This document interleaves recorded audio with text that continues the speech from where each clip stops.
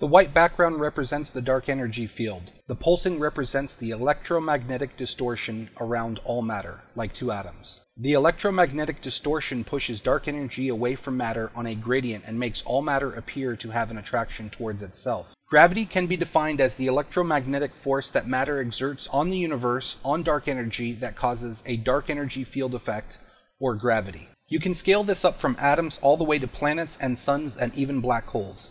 Anything that creates gravity is actually not pulling things into itself like a gravity well. More, it is pushing dark energy away, and in doing so, dark energy is pushing harder on the side with the least distortion.